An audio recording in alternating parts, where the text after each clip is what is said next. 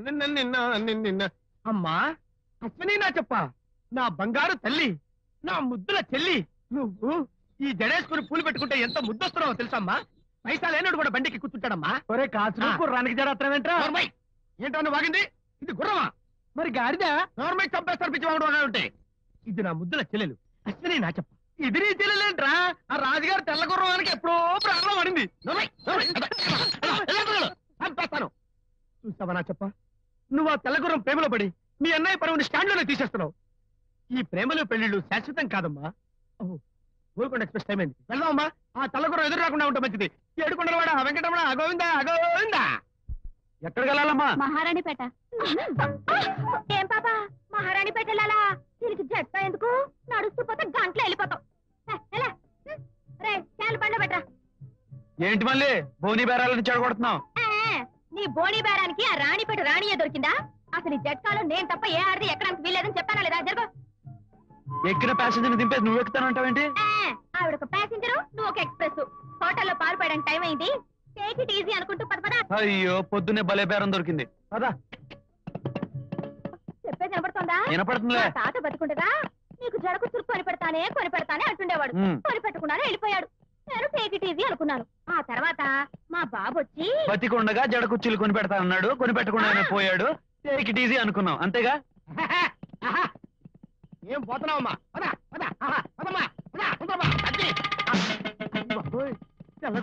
ఒరేయ్ కాసులో అయిపోయావు రే. అయ్య బాబోయ్. చిన్న నీ గర్వ ఫ్రెండ్ రోయ్. అయ్యో.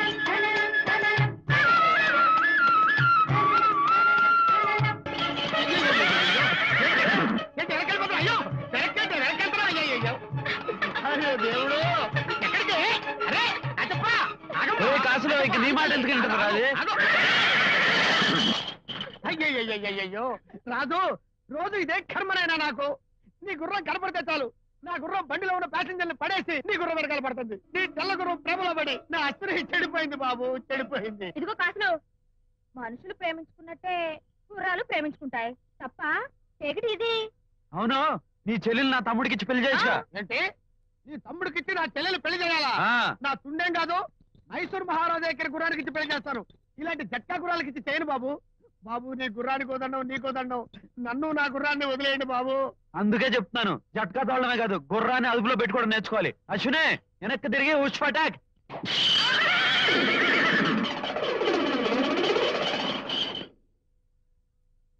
ఇదిగో మళ్ళీ ఆ, పాలు పోసి త్వరగా వచ్చేసాయి.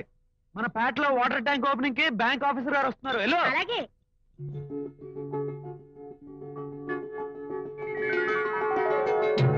అమ్మమ్మా నీకోసం అందరూ ఎదురు చూస్తున్నారు. త్వరగా రా.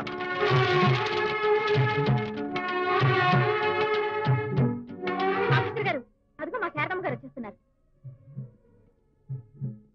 నమస్కారం అమ్మా. నమస్కారం బాబు. మీరు నాకు నమస్కారం పెట్టడం ఏంటమ్మా? నన్ను గుర్తుపట్టారా? ఏమిటిది? ఆఫీసర్ గారు మా అమ్మమ్మ మీకు ముందే తెలుసా? ముందే తెలుసా ఏమిటి బాబు? ఆవిడ మా పాలిటి దేవత. మీ అమ్మమ్మ గారి ఊళ్ళో ఆవిడ ఇంటి ఎదురుగా ఉండే టైలర్ పాపారావు కొడుకు నేను. నేను చదువుకోవడానికి డబ్బు లేని పరిస్థితుల్లో ఆవిడే ఫీజు కట్టారు. నన్ను కాలేజీలో చేర్పించారు. అంటే నువ్వు రాజశేఖరాని కదా? అవునమ్మా. మీ దయ వల్లే నేను ఆఫీసర్ని కాగలిగాను. మీరేంటి ఆఫీసర్ గారు? మా కాలనీలో అందరికీ ఆ తల్లే దారి చూపించేది. కావాలంటే చూసుకోండి. ఈ కాలనీలో ఏ షాప్ మీద చూసినా ఆవిడ పేరే కనిపిస్తుంది. నాదే ఉంది బాబు. నేను పెంచిన మొక్క పది మందికి నీడనిస్తే చాలు. నువ్వే ఇక్కడికి ఆఫీసర్గా రావడం. ఈ నీళ్ళ ట్యాంక్ లోన్ ఇప్పించడం నాకెంతో ఆనందంగా ఉంది బాబు. ఆఫీసర్ గారు ఇంకా ఆలస్యం ఎందుకు? ఓపెనింగ్ చేసేయండి. రండి రండి ఆఫీసర్ గారు. కొట్టండి చప్పట్లు కొట్టండి. అన్న ఈ స్లమ్ ఏరియా ఖాళీ చేయించడానికి ఉపయోగపడతారని వీళ్ళని తీసుకొచ్చాను. నమస్కారం సార్. నా పేరు బిళ్ళ ధర్మం. వాట్ బిళ్ళ ధర్మమా? అవును సార్.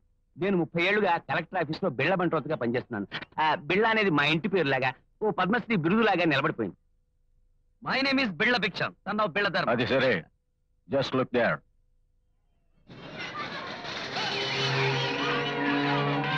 నా హోటల్ ఇంకా పెద్ద చేయాలి. అందుకే నా స్లమ్ ఏరియా ఖాళీ చేయించాలి.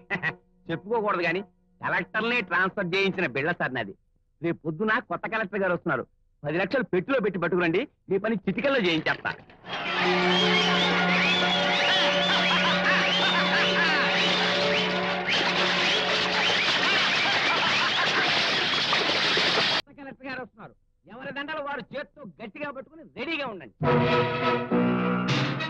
వస్తున్నారు.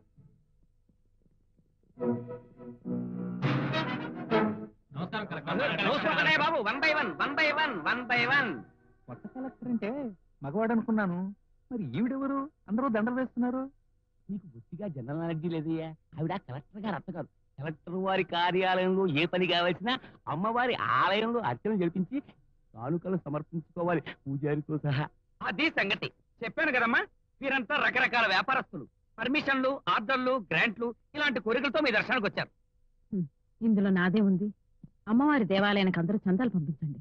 అన్ని ఆవిడే చూసుకుంటుంది. అంతా సందాలు ఇవ్వడానికి రెడీగా ఉన్నారు తల్లి. అంతా ఇంత అని చెప్పేది ఏముందమ్మా? తమరు ఇంతంటే ఇంత అంతంటే అంత. ఏమండి చెప్పింది అర్థమైందిగా? మా అమ్మ ఏ మాట చెప్పినా? సరేనంటారు. సరేనా? ఇప్పుడు కొత్తగా చెప్పేది ఏముంది? పదండి. అదిగో కలెక్టర్ గారు వస్తున్నారు. నమస్కారం. నమస్కారం. అందరూ అత్తయ్య గారితో మాట్లాడారా? వాళ్ళు అడగాల్సింది అడిగారు.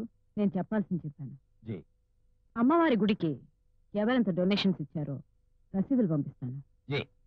ఆ, ఏ ఫైల్ మీద ఎప్పుడు సంతకం పెట్టాలో ఆఫీస్ ఫోన్ చేసి చెప్తాను. జీ. విన్నారుగా? అమ్మవారి అనుగ్రహం స్పీడ్ పోస్ట్లో వస్తుంది. బయలుదేరండి. వెళ్ళి శ్రద్ధగా వ్యాపారాలు చేసుకుని బాగుపడండి. ఆఫీస్ టైం అవుతుంది. నేను బయలుదేరుతాను. ఓకే.